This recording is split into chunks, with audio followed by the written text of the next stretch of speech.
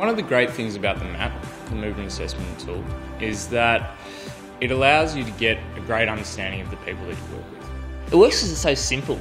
You just sort of roll it out on the floor and you can collect meaningful, actionable data straight away.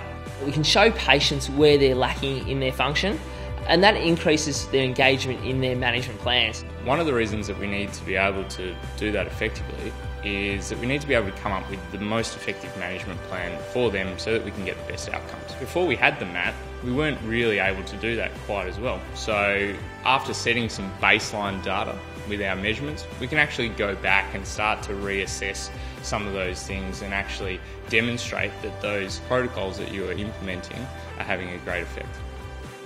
What we've found using the MAT is that it's really increased our rebooking rates. The MAT also gives you a point of difference in your practice. It allows you to stand out from the crowd and show that you're an evidence based practitioner striving to get the best results for your patients or clients. What that allows is that increases that buy in to our management plan, knowing that we're the right people for them to take them to where they want to go.